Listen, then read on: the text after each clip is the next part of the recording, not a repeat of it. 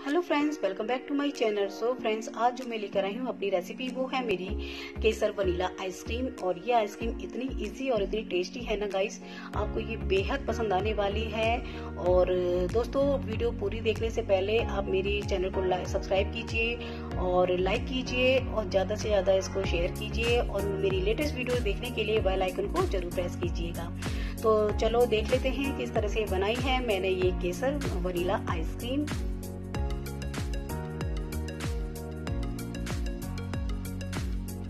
इसको बनाने के लिए यहाँ पर ले लिया है मैंने हाफ़ कप शुगर तो देख सकते हैं क्वांटिटी हाफ़ कप हमने शुगर ले लिया है। कॉर्नफ्लोर लिया है, यहाँ पर हमने टू स्पून कॉर्नफ्लोर डालेंगे। और आप देख लीजिए हमने ले लिया है फुल मिल्क जो है ना 500 सौ में हमने ले लिया है मिल्क केसर ले लिया है हमने यहाँ पर। ओनली फोर इंग्रेडिएंट्स और हमारी आइसक्रीम बहुत ही यम्मी बनने वाली है गाइस तो वीडियो पूरी देखें और वीडियो लाइक और शेयर ज़्यादा से ज़्यादा कीजिए दोस्तों. तो ये देख सकते हैं, यहाँ पर मैंने थोड़ा सा मिल्क ले लिया, अलग से कप में, ये अलग से लिया है मैंने मिल्क तो हाफ़ कप मिल्क ले लिया, इसमें मैं डालूँगी अभी ना दो स्पून इसमें मैं कॉर्नफ्लोर मिलाऊँगी. तो कॉर्नफ्लोर मिलाऊँगी इसको टू स्पून के करीब मैंने मिलाऊँगी, इसमें देख लीजिए.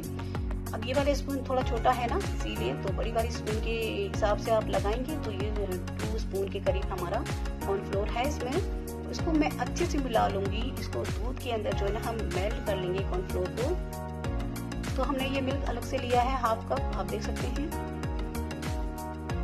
अच्छे से मिलाएँगे कॉर्नफ्लोर को, जिससे कि ये मिल्क के अंदर अच्छे से मेल्ट हो जाए। यहाँ पर हमने ले लिया है, आप देख सकते हैं 500 सौ हमने मिल्क लिया है। अभी हम इसको एक पैन में डालेंगे। तो फुल क्रीम हमने लिया है मिल्क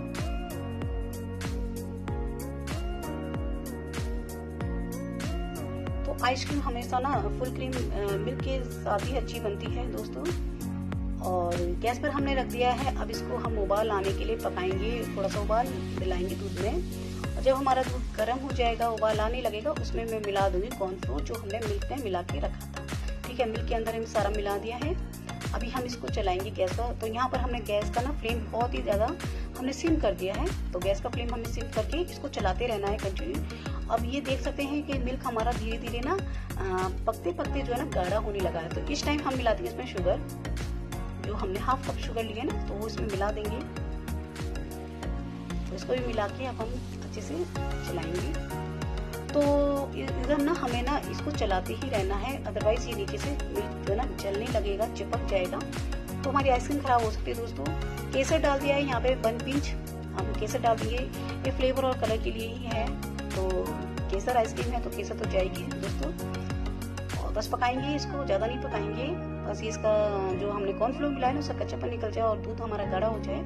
तब तक हमें ये गैस पे पकाना है।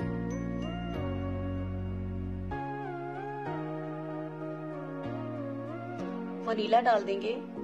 तो यहाँ पे हाफ़ टी स्पून के करीब मैं इसमें वनीला डाल रही हूँ। ड्रॉप के हिसाब से मैंने इसमें 10 या 12 ड्रॉप डाला डाला है। आप देख सकते हैं, ये हमारा मिल्क अच्छे से गाढ़ा होने लगा है। गैस यहाँ पर मैं बंद कर दूँगी, इसको ठंडा होने के लिए रखूँगी। अब ये ठंडा हो गया है थोड़ा सा। तो जब ठंडी हो जाएगी ना हमारी जो मिल्क जो है, फिर उस टाइम हम डालेंगे घर की बनी हुई फ्रेश क्रीम जो हमारी दूध की क्रीम होती है ना। तो फ्रेश क्रीम है ये। तो मैंने एक कप के करीब इसमें मिला दी है क्रीम और इसको मैं अच्छे से मिला लूँगी। और अभी हम इसको एक मिक्सी जार में डालेंगे और इसको हम ना विप करेंगे। तो इसके अंदर हम मिक्सी में जो विप विप करेंगे ना तो उससे क्या होगा ना, हमारा मिल्क जो है ना क्रीमी आएगा क्रीमी इसमें आ जाएगा क्रीमीनेक्स आ जाएगी इसके अंदर। तो वही हमें लानी है हमने अच्छे से कर ली है। आप देख सकते हैं फ्लपी हो गई है हमारी, ये देख सकते हैं। और केसर भी कलर छोड़ रहा है अपना, और इतना बढ़िया सा कलर आने लगा है मिल्क के अंदर। तो इसी तरह से हमें इसको डिप करना है।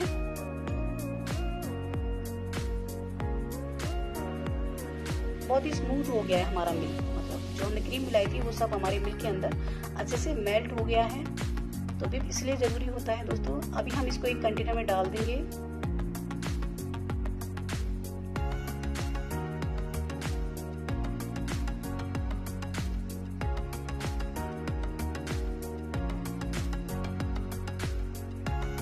आप देख लीजिए लीजिए सिर्फ़ एक आधे लीटर मिल्क में ही हमारी कितनी आइसक्रीम बन जाती है दोस्तों, और इसको मैं फ्रीजर में रख दूँगी। सेट होने के लिए आइसक्रीम को यहाँ पर मैं इसमें ना देख सकते हैं आप देखिए पाँच छह घंटे बाद ही हमारी आइसक्रीम अच्छे से सेट हो चुकी है। तो अभी ये अनकम्प्लीट है, यानी अभी ये पूरी तरह से तैयार नहीं है दोस्तों। तो इस तरह से हम इसको निकाल लेंगे। आसानी से निकल जाएगी, ठीक है? और ये देखिए, पीछे से केसर से कितना अच्छा इसमें कलर आ गया है, येलो, लाइट येलो कलर आ गया है। अब हम इसके ना पीस काटेंगे। अभी ये अनकम्प्लीट है, हमारी आइसक्रीम बनी नहीं है दोस्तों तो इस तरह से हम पीस काट लेंगे। छोटे छोटे पीसेस हम काट लेंगे। बड़े नाइफ की सहायता से आप काट लीजिए।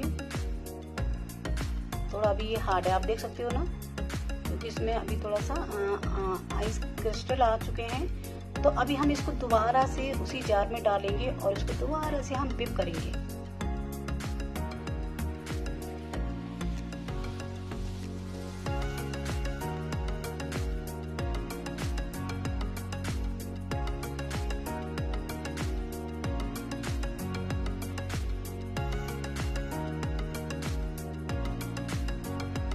और ये देखिए हमारी क्रीम जब हमने, अच्छे से जब इसमें हमने विप करी है ना तो ये देखिए कितनी क्रीमी हो गई, कितनी फ्लपी और क्रीमी हो गई है ना। तो ये तैयार है हमारी आइसक्रीम अब हम इसको दोबारा से इसको सेट होने के लिए डालेंगे एक बर्तन में। तो यहाँ पर मैंने कांच का इस तरह से एक ट्रे लिया है। आप किसी में भी जमा सकते हैं इसको। तो अब हम इसको जमाने के लिए रखेंगे दोबारा से। इस तरह से हमने एक में रैप लिया है। इससे क्या होगा ना, जो इसके अंदर जो पानी मॉइस्चर आता है ना आइसक्रीम में, वो इसके अंदर नहीं जाएगा क्रिस्टल नहीं आएँगे। कहने का मतलब आइसक्रीम के अंदर क्रिस्टल नहीं आएँगे। तो इसीलिए हम इसको लगाएँगे